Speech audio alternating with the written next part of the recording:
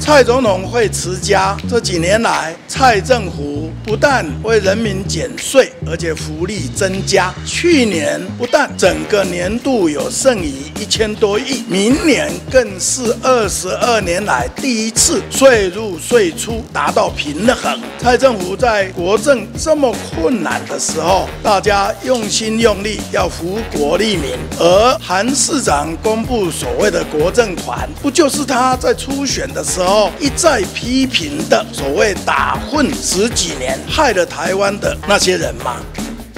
这是算法的不同，审计机关是用付款来算，行政机关是用执行来算。我们的执行力不但超前，甚至于超过百分百。我也会督管各项工程，各方面都会让各方都能如期如此做好。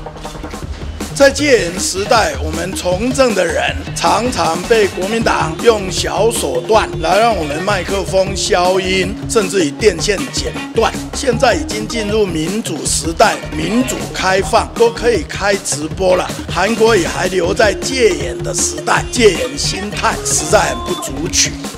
香港人民勇敢的一再出来，连妈妈都带着小孩，衣服都挂着眼罩，都是要最卑微的诉求，也是对即将失去、已经在被打压的民主自由做最卑微、最后的呼吁。集权的统治者往往看不到人民的心意，这是落差最大的地方。我们支持、关心香港人，争取。民主自由，希望香港政府能够快快的对人民最卑微的诉求好好的回应，继续冲，继续拼，国家继续向前进。